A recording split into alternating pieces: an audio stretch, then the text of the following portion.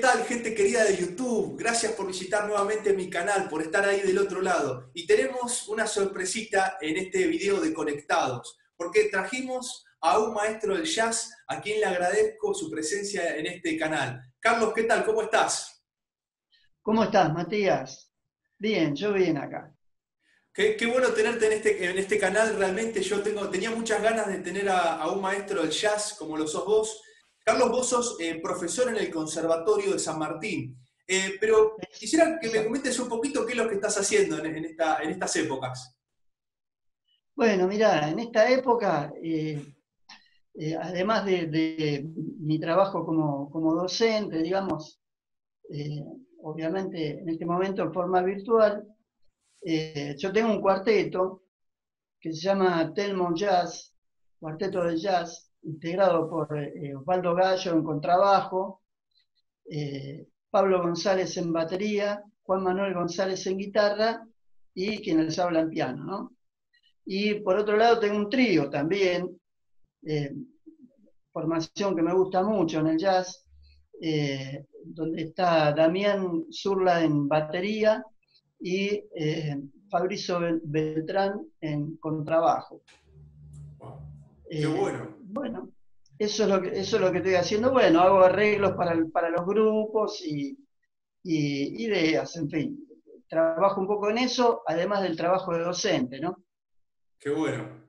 Qué bueno, Carlos, qué bueno, la verdad. Eh, yo, quisiera un poco, bueno, la verdad que ahora, porque hay muchos que van a querer buscarte en, redes y, buscar este grupo, eh, estos grupos que nos nombraste.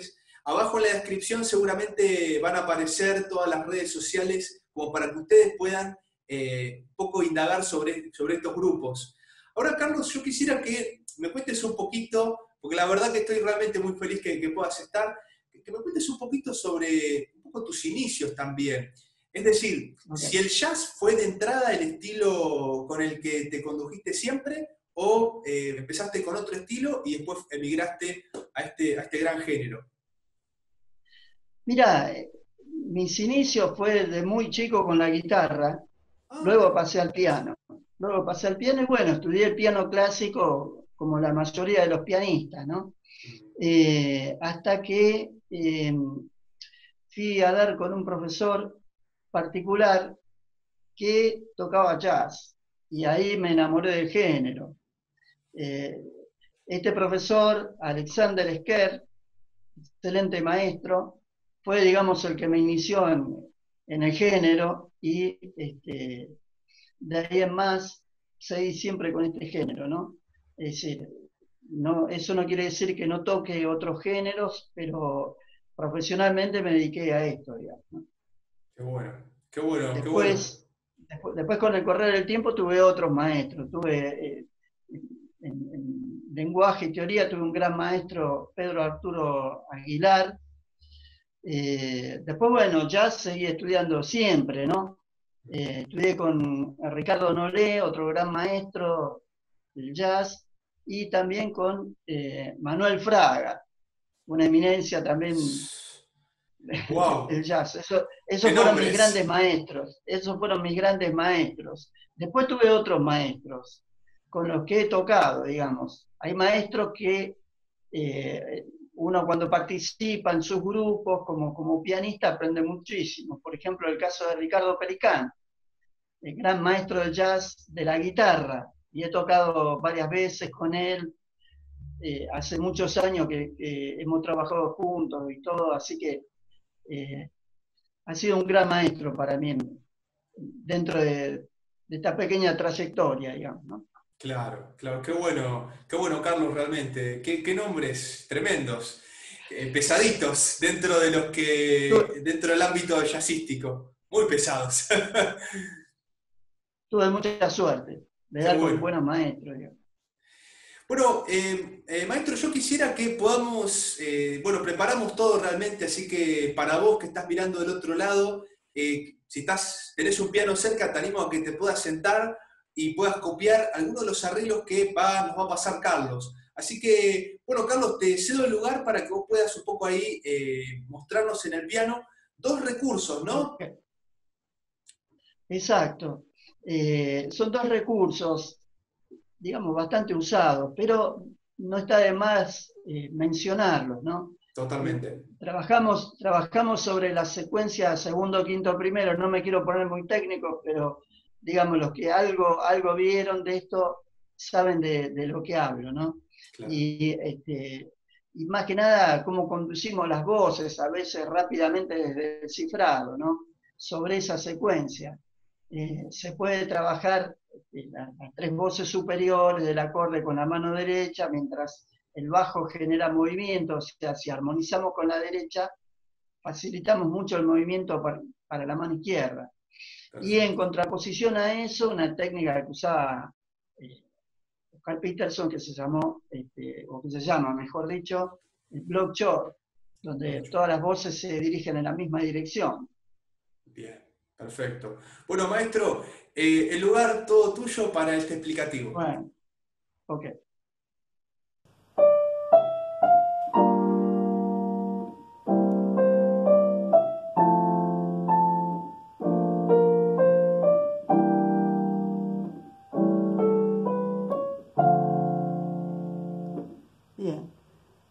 Si conocemos los acordes en el piano, rápidamente podemos armonizar una melodía con la mano izquierda. Pero si armonizamos con la derecha,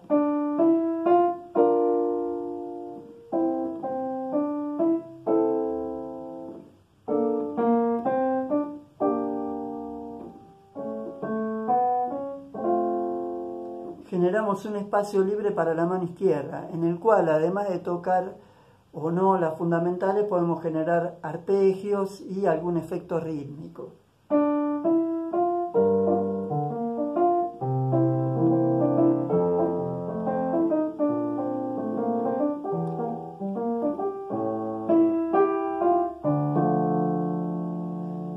etcétera. Este recurso es muy bueno cuando uno tiene que tocar solo porque cubre todo el piano, la parte del bajo, la parte del centro con el acorde y la melodía. Pero si uno toca en grupo no es necesario a veces llenar tanto.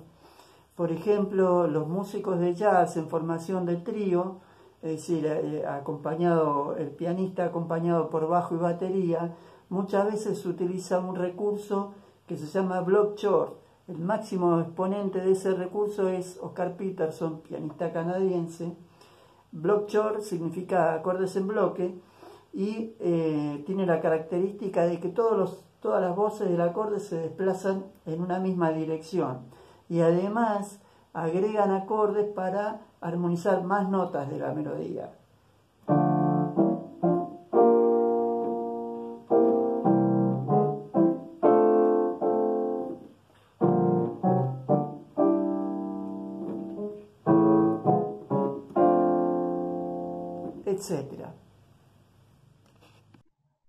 Bueno, gracias Carlos, gracias por este explicativo, realmente ha servido. Eh, siento que muchos chicos están ahí en sus casas detrás del piano y ahí viendo un poquito estos arreglos. Ahora, cambiando un poquito de tema, ¿no? Yo quisiera saber, Carlos, ¿qué es lo que vos le recomendás a aquel alumno que quiera adentrarse en el jazz, en este género tan amplio? ¿Por qué vías ir, digamos? ¿Y por la lectura, no sé, por el oído? ¿Qué, qué le recomendás vos a aquel que está como recién empezando, adentrándose en el, estilo? Bueno, yo diría, eh, lo primero que tienen que hacer es escuchar. Escuchar. Tratar de eh, hacer una, investigación auditiva del género, primero para los que no conocen, ¿no? Claro. Y, eh, bueno, deberán saber que tiene ciertas características de género, como por ejemplo son canciones populares que, eh, digamos, los músicos de jazz han, este, eh, han tocado, digamos, instrumentalmente eh, con improvisaciones. Una de las características importantes que tiene es, la improvisación, digamos, que no es solamente del jazz, en otros géneros también se, improvisa, se improvisaban los clásicos también. Eh, esas son ciertas características que tiene eh, el jazz. Eh, y con el correr del tiempo, bueno, se, se, fue mezclando con otros ritmos de otros países, de otras geografías, ¿no es cierto? Así que lo primero que tienen que hacer es estudiar y conocer los estilos. Dentro del género hay muchos estilos diferentes. Eh, después, bueno, hay grandes maestros, como ya decíamos, ¿no? Eh, yo empezaría por ahí. Después, bueno, material hay mucho. Eh, pero básicamente hay que empezar por ahí, por escucharlo y conocerlo auditivamente. ¿no? Escucho, claro, claro, claro. Bueno, Carlos, eh, la verdad que estoy realmente muy feliz de que puedas estar conmigo compartiendo este tiempo. Y preparaste un estándar bastante especial, lo estaba escuchando hace un ratito en casa y la verdad que eh, suena bárbaro, pero quisiera escucharlo de, tu propia interpretación. Comentame un poquito de la, de la ¿Es un arreglo tuyo? ¿Esto es así? Sí, es un arreglo mío, eh, tratando de utilizar, digamos, los, recursos que, acabamos de explicar, ¿no?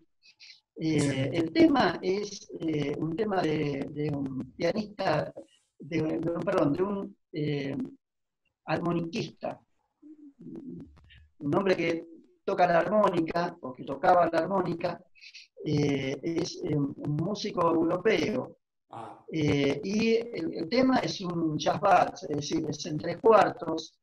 Eh, hay un músico de jazz que le gustaba mucho estos ritmos, que es Bill Evans. Ha grabado muchos jazz. Eh, y bueno, se me ocurrió este tema porque además técnicamente tiene cierta característica. usa mucho la secuencia segundo, quinto, primero, como muchas músicas, por supuesto. Pero en este caso en particular eh, aparece mucho esta secuencia. Entonces se me ocurrió este, utilizar ese, arreglo. Interesante, interesante. Bueno, maestro, vamos a escucharte entonces de vuelta eh, y esta vez ya aplicando todos estos recursos en el piano, así que bueno, eh, los dejo con el maestro.